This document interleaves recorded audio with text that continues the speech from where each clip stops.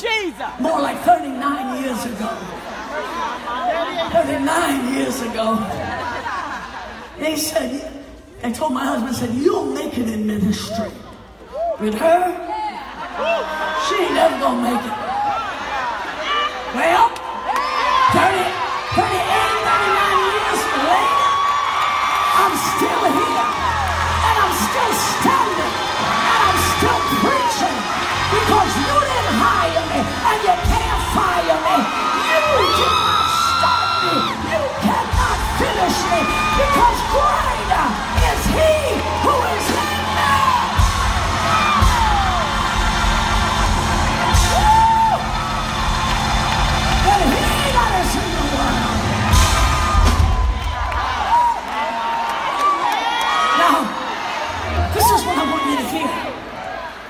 Because if I would have believed that gentleman that said that to me, That's right. my life's journey would have ended up completely different. Because believing is the door of entry. I said believing is the door of entry. And if I would have believed it, then I would have conceived it. I would have conceived it, then I would have received it. And it would have brought forth fruit in my life. So what are you saying to us? I'm saying sometimes you got to hear it and ignore it. You ain't got to fight with it. You ain't got to wrestle with it. You don't have to try to prove anything. You just got to hear it, ignore it, and say, We shall see. You have to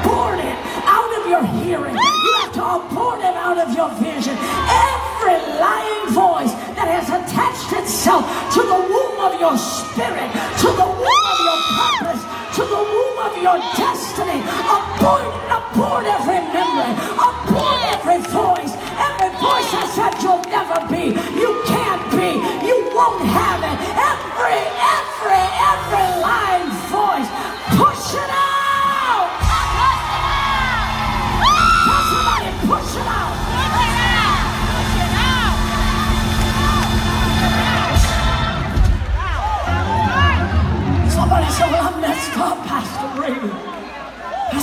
We all messed up. You might, you might look at me now and think, wow, your faith is strong. That's because I'm 39 years into the process. Hello. And can I tell you, leaders are not always born. Sometimes they're made. And it's the things that we go through that prepare us for what God wants to do in our lives. It enables you to look back over your life. Have you ever looked back over your life and said, Lord, I don't know how in the world, why in the world I ever had to go through that, let alone how in the world. Because there's some things that I look back over my life and say, Lord, have mercy. I would have never made it had it not been for you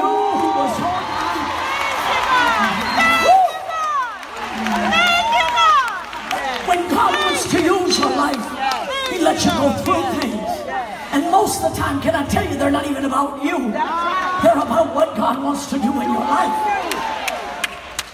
So in our text tonight, one of the world's greatest pastors, the world's greatest leaders of the Old Testament, he was a pretty mixed up person. I mean, I can't even believe that when God was looking for somebody that he would use to lead nations or lead multitudes or, or somebody to speak to kings or somebody to negotiate on behalf of his people's freedom, I can't believe that he would pick somebody like Moses. Here's why. Number one, he had a communication problem. And if you are going to plead with the Pharaoh on my behalf, I want you to be able to not get him mad, you know, before you start negotiating my case. He had a, he had a stuttering problem. So that was one issue. He also was a man that lived a very conflicted life. He was brought up in a very turbulent manner. By all rights, he should have been a, a dysfunctional adult because he was, a, he was raised in a dysfunctional childhood. He was on the hit list of hell as a child. His mama was hiding him in a bulrush as a baby. So that means his identity was hidden. That means his greatness was hidden. That means his destiny was hidden. That means his purpose was hidden. I mean, he, he wasn't only hidden, but he was also abandoned.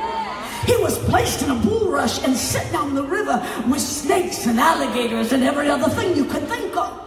So he wasn't only hidden, he wasn't only abandoned, but he was also adopted.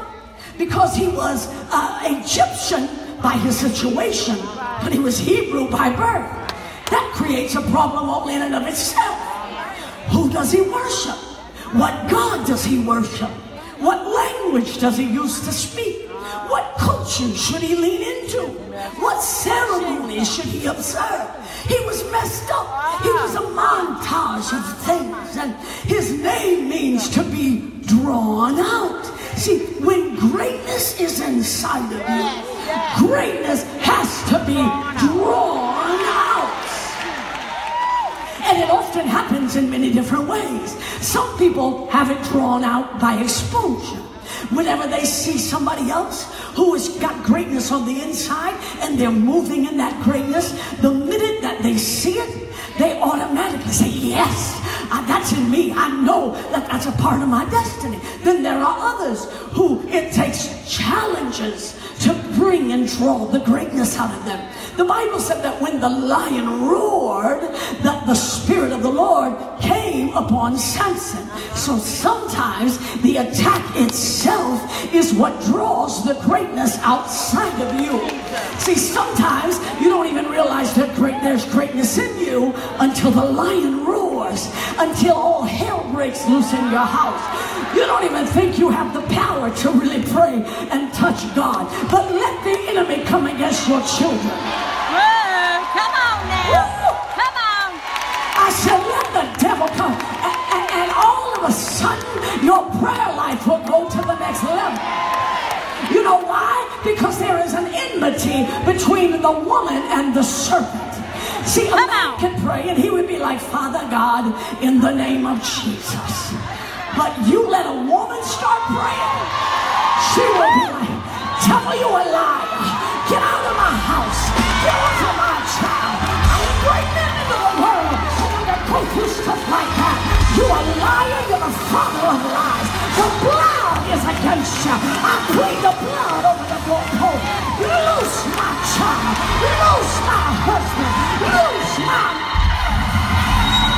know why? Because there's hatred between you and the devil. Shake your sister's hand and tell her I hate